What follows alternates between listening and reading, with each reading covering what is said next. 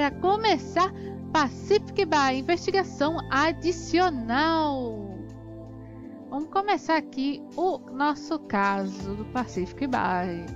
A gente, lembrando o último caso que a gente teve aqui do Pacific Bay, a gente descobriu quem foi que matou a vítima, né? Aquela mulher que morreu afogada. Foi o tal do Mai Chiat, né? E agora a gente vai começar a investigação adicional, que alguma coisa ficou pra gente é, saber do que aconteceu depois. Não, não faz muito sentido, alguma coisa vai acontecer agora. Ei, Luciene, você está aqui há um tempo e ainda não conseguimos conversar direito. Então, estive pensando, já que, pelo jeito, você gosta de mergulhar, poderíamos explorar o Recife de Corais. É uma ótima ideia, detetive Luciene. Ian é um especialista em vida subaquática. Você se divertirá muito, tenho certeza disso. Eu adoraria participar, mas minha última sessão de mergulho foi um tanto surpreendente, da pior maneira.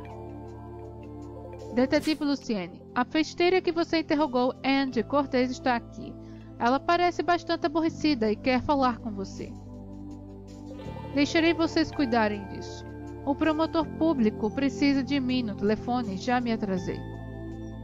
Certo. Detetive Luciene, vejamos o que a Andy quer.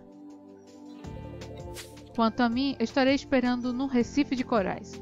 Estou morrendo de ansiedade para ver as maravilhas das profundezas do mar novamente.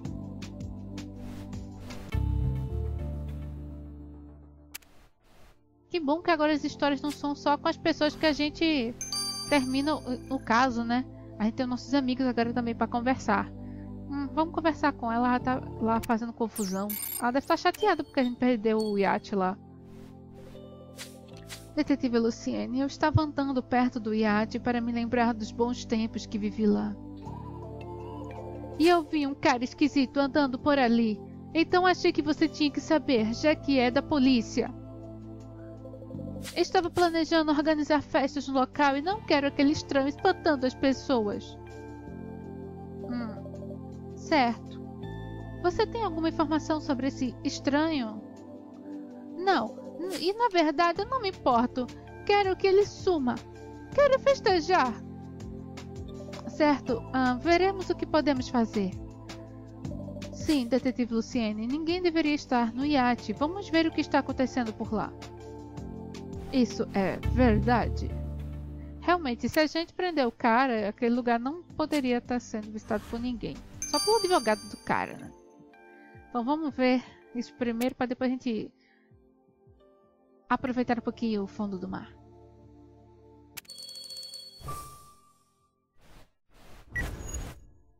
Eu mudei o visual. Ficou bem legal.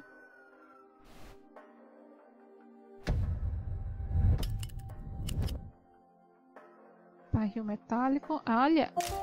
Deixaram alguma coisa ali. Barris metálicos não são coisas boas. Viseira. Esse aqui, esse aqui não, né? Bola de vôlei. Coquetel. Urso. O Flatsul, sim, o fofo. Chama. Tubarão. Cadê o tubarão? Tu, tu, tu, tu, tu, tu, tubarão. Ah, isso aqui é uma viseira? Pra mim é um boné sem a parte de cima.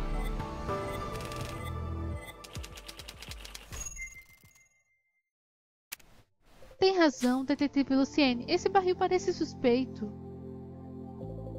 Parece que tem um texto nele. Tenho certeza de que você consegue recuperar as partes apagadas e descobrir o que está escrito. Vamos!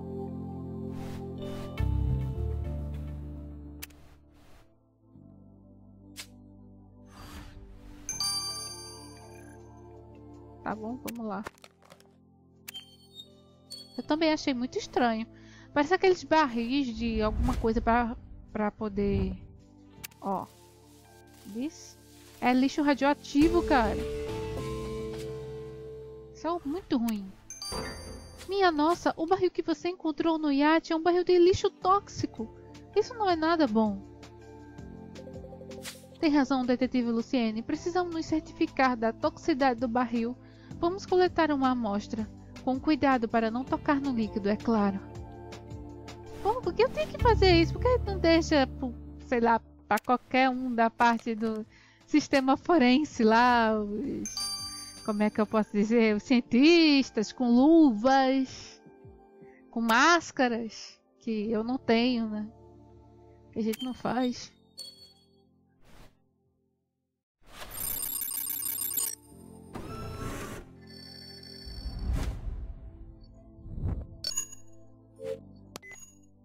Ó, já achei um. Deixa eu ir logo porque tô tentando não respirar. Ah! Consegui! Fechar a tampa! Ótimo, detetive Luciene. Agora temos uma amostra do líquido que estava no barril que você encontrou no iate. Agora pelo menos eu posso respirar, né? Quanto antes a enviarmos para análise, mais cedo saberemos o que há no barril. Eu não quero saber, meu filho. Eu não quero saber. Só quero manter distância. Seis horas. Quem vai analisar o Ian? É o Ian, né? Agora vamos. Vamos mergulhar. Aproveitar o fundo do mar. Mal posso esperar, Luciene. Já tem muito tempo desde a última vez em que mergulhei.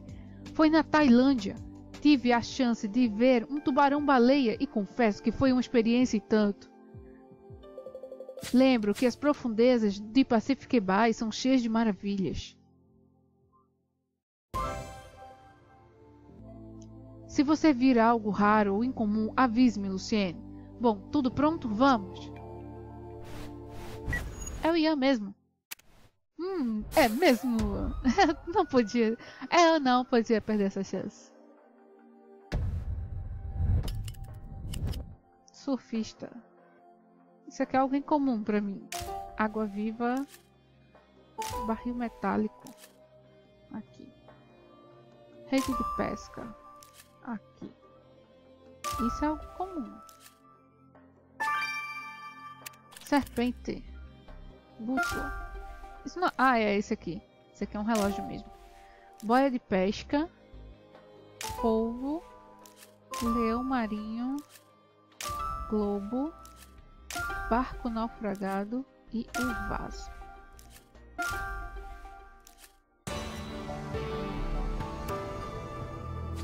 Você encontrou uma rede de pesca? Mas esse lugar está fora dos limites para barcos de pesca. Que bom que você a recolheu. Ela poderia ter danificado o coral. Estas águas parecem estar cada vez mais perturbadas pela atividade humana. Sim, tem razão, Luciene. Parece que tem algo se mexendo na rede. Vamos dar uma olhada.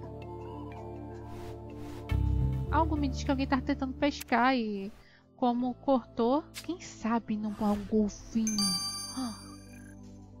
Pode ser, né? Isso. Nossa, quanta coisa. Eles pegaram a raia. Pegaram esse peixe aí, ó. Essas arraias estão muito pequenininhas. Se estão tudo morto. A gente podia devolver. Não, não deve estar tá morto, né, gente? Porque se estava debaixo d'água, talvez estivessem vivos ainda. Ai, meu pai, eu não acho nada aqui. Quer dizer, não acho nada que eu deveria achar. Ultimamente eu não tenho tido muita sorte com o negócio. Tá vendo? Onde estava? Camarão desconhecido. Não acredito, Luciene. Você encontrou o que parece ser uma tamaru taca na rede de pesca que você retirou do Recife de Corais. Mas eu não me lembro de uma espécie como essa já ter sido avistada por aqui antes. E eu conheço o Recife muito bem. Se não se importar, Luciene, gostaria de fazer algumas pesquisas sobre essa espécie que encontrou. Suas cores são incomuns. Pode ser uma nova espécie. É, você sabe porque eu encontrei isso? Será que eu vou receber algum prêmio? Não sei. Lembrando que a gente vai ter que encontrar aquele cara que tá muito irritado. Se brincar, pode ser até dele, Tamaratutaka lá. Tamaratutaka. Eu não consegui, gente. Tamaratutaka é fogo. A gente, eu vou voltar aqui quando terminar essas pesquisas aí. Vamos obter os resultados do camarão desconhecido.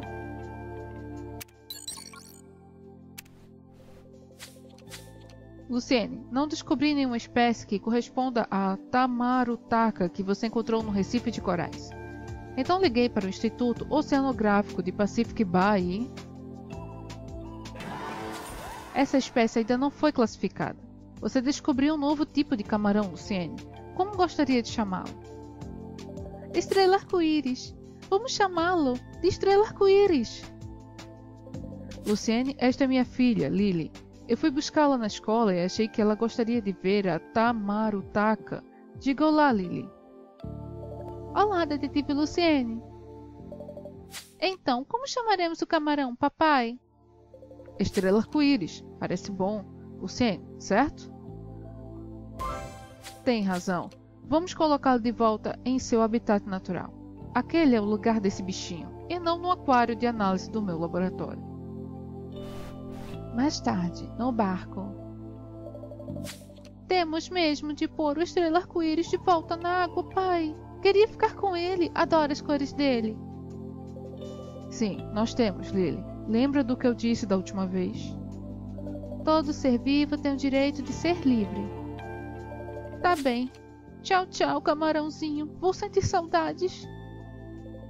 E lá vai ele. Ah, desculpe, senhor. Não queria que o camarão caísse na sua cabeça. Sem problemas. Eu estava voltando do meu mergulho. Olá novamente, detetive Luciene. Se tiver um minuto, gostaria de falar com você.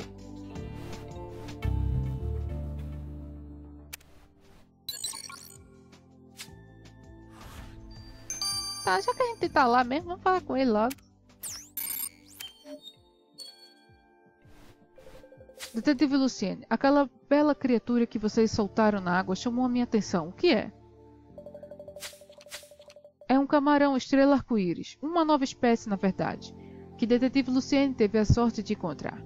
É raríssimo, ainda não se conhece o número de espécimes. Essa é uma bela criatura. Achei que meus dias de fotografia subaquática haviam acabado, mas vejo que ainda há criaturas por aí tão coloridas quanto o coral. Você acha que posso encontrar outras coisas raras como essa beleza no coral?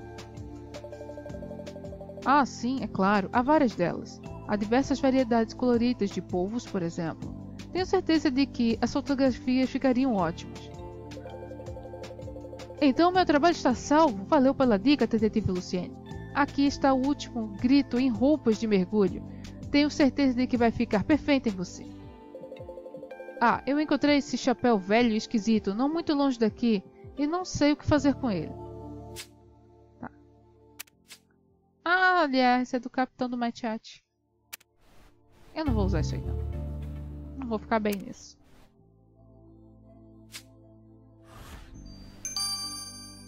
Vamos então ver o produto químico não identificado. A gente vai identificar ele agora, né?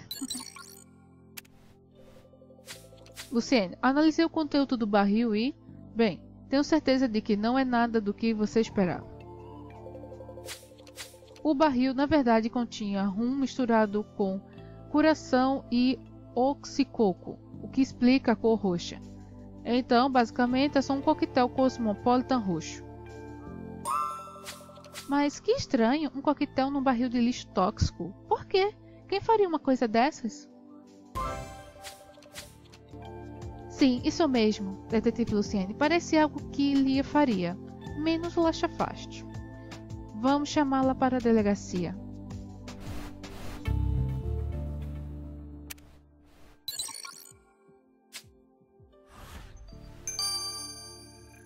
Olha, eu pensei que nem ia mais te ver.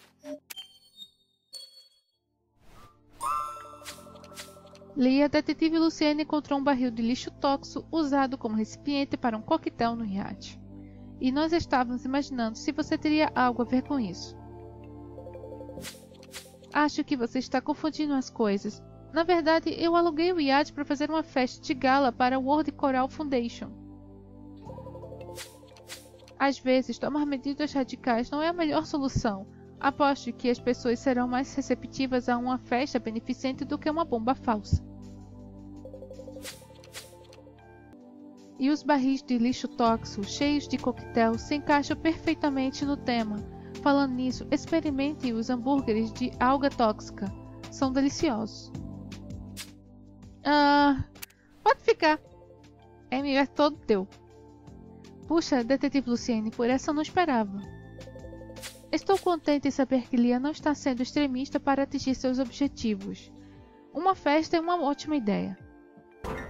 Detetive Luciene, alguma notícia do iate? As festas não podem parar. Tenho que manter minha reputação. Pô, então vou ter que falar com essa daí? Por que tu não contasse logo que ela ia fazer uma festa e ela já ia lá?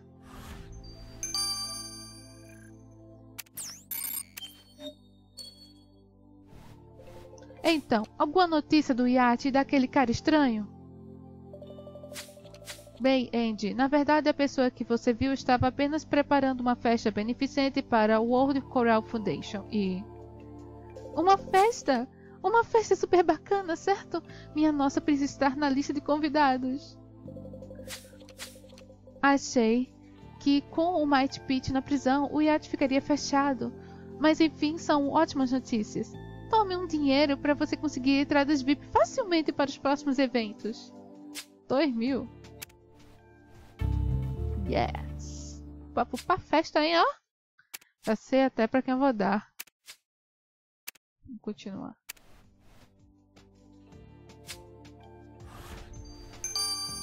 O próximo caso já vai ser liberado com uma estrela. A gente já tem uma estrela para liberar o próximo caso.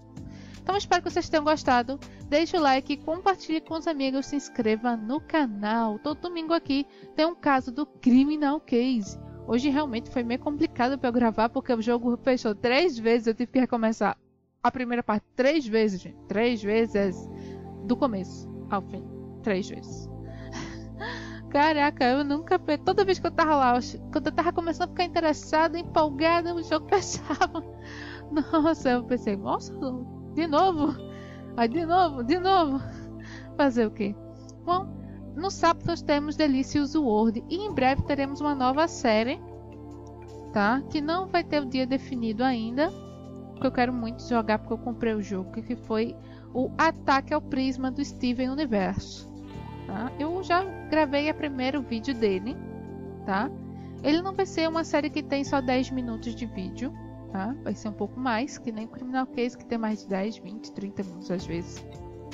Mas ele não vai vir no, no domingo, não. Domingo é só Criminal Case e só tem o segundo vídeo se realmente foi emergencial. Se não, é só o Criminal Case. Para quem assiste o The Sims Free Play durante a semana, de segunda a sexta, mais ou menos, você tem que ficar ligado porque nós vamos ter uma nova atualização. Já para quem curte o Criminal Case, qualquer um Hoje, para mim, atualizou três criminal cases. Se não todos vão atualizar depois que eu terminar de gravar aqui. Então, deve ter novidades né, no seu jogo ou correção de bugs. Um, eu tô querendo. Eu voltei também a jogar o primeiro Criminal Case, que é pra gente. Em, assim, depois de um tempo, eu consegui chegar no centro financeiro de novo. E eu tive uma ótima ideia. Eu vou voltar minha gravação do Facebook para continuar de onde eu parei no primeiro Criminal Case, que eu estou no centro histórico. Assim a gente vai, eu vou voltar aonde eu estava e onde eu parei.